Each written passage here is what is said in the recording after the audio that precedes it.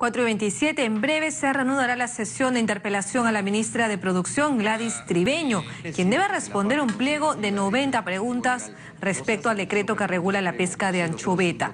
Al parecer, la larga jornada, obligó a la titular, y la vemos en imágenes, a ponerse en cunclillas en varias ocasiones para estirar un poco las piernas. Ha estado varias horas en el Pleno del Congreso. La ministra de la Producción debe aclarar los cuestionamientos al estudio técnico que se hizo para fijar los límites en las zonas de pesca. Sostuvo que son 557 y no 1.500 las embarcaciones que solicitaron permiso para pescar anchoveta dentro del espacio asignado.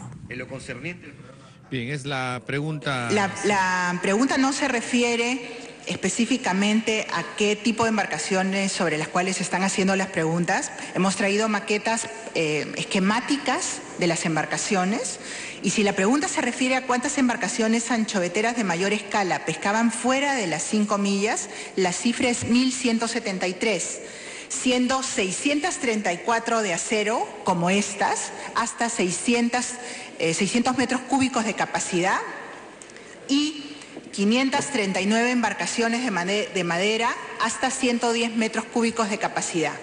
Estas son las embarcaciones industriales de mayor escala que pescaban fuera de las millas 5. 1.173 embarcaciones.